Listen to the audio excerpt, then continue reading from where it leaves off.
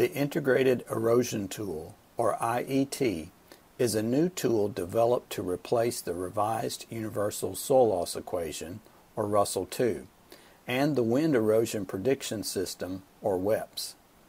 IET is an ArcMap add-in, and as such, it will interface with a digital map to help the planner visually see the fields that they are working on and be able to identify on the map field characteristics, such as barriers, that will affect soil loss calculations. Since IET is a geospatially based system, it is able to read information from other data layers to save the planner time in looking up information. At the end of this lesson, you will be able to describe the advantages of using IET and describe the IET interface. IET is designed to be a simple and accurate tool to identify resource concerns. It's designed to efficiently and scientifically validate that plans meet planning criteria. It's designed to ensure the most current models and data are being used for erosion estimates and provide understandable information for planner and client conversations. It's also designed to be a resource analysis tool that interfaces with a digital map. If you had to calculate water and wind erosion for a land unit, you would have to run both RUSLE2 and WEPS. Imagine that you had two cars to get to another location and you are alone. How would you do that? You would probably have to get into one car, get everything set, adjust your seat position, put on your seat belt, adjust the mirrors, etc., then drive the car to the finish. Then you would have to walk back to the start, get in the second car, get everything set, adjust your seat position, put on your seat belt, adjust the mirrors, etc., then drive the car to the finish. Running two separate tools for erosion calculations is similar to that process. IET runs both tools at the same time. Another advantage to IET is its system architecture. In Russell II and WEPS, the user interface, the calculation engine, and the data is all stored on the individual computer. If one part of that system needs to be updated, it has to be updated on every computer running the software. How many computers do you think there are in NRCS offices with Russell II or WEPS installed? So, if the climate database is updated, the database has to be manually updated on every one of those computers. Do you think there are computers in NRCS offices that do not have the most up-to-date information in Russell II or WEPS? In IET, the user interface is installed on the computer, but the calculation engines and the data is stored in the cloud environment on servers in Fort Collins.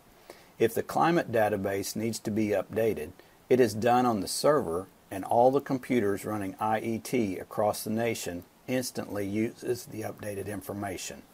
IET is not just an erosion prediction tool. It gives the water and wind erosion estimates, but also provides the planner with the soil tillage intensity rating, or STIR value, and the soil conditioning index, or SCI. It also provides an energy estimate based on the fuel type and uses and gives a particulate matter estimate from the dust created by wind erosion.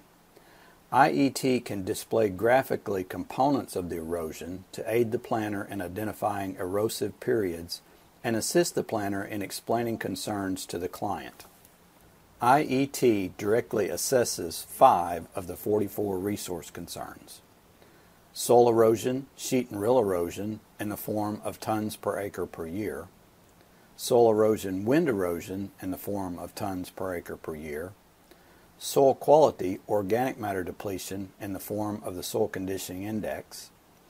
Energy, field operations in the forms of gallons of fuel per acre. And air quality, particulate matter in the form of PM10 parts per million. Since the IET interface is an ArcMap add-in, the window is a floating window that can be docked at various locations in the ArcMap window or moved to a second monitor.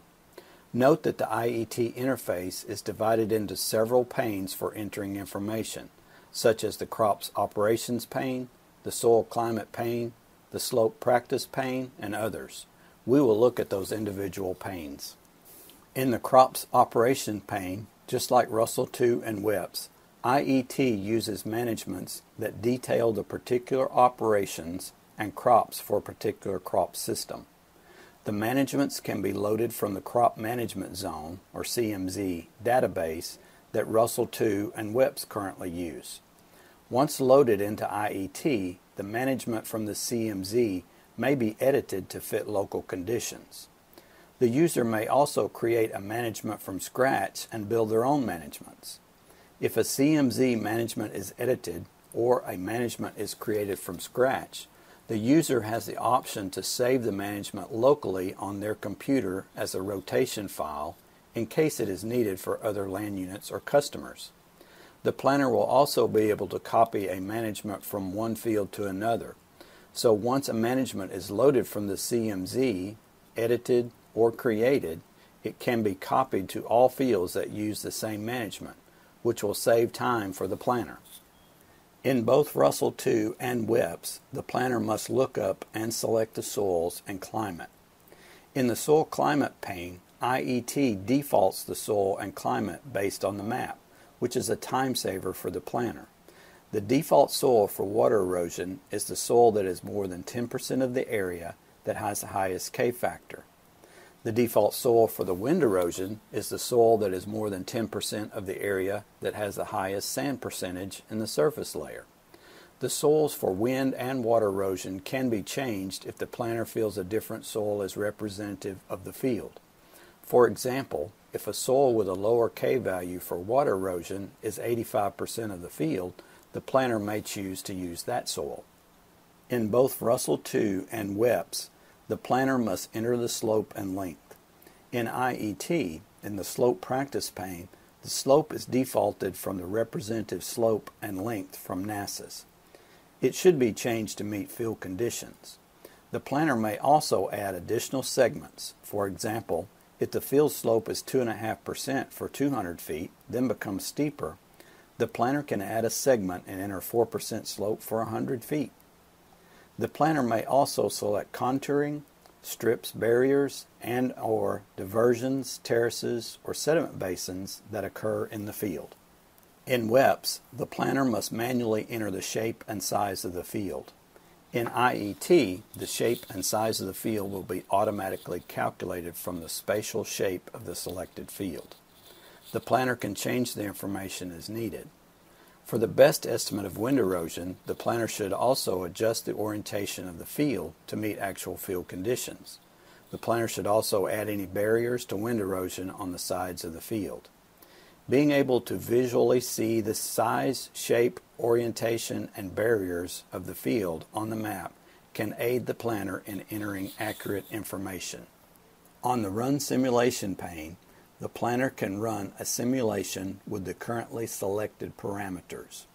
Results are displayed after the run completes, and the planner may save the results to be displayed in the Planning Summary pane.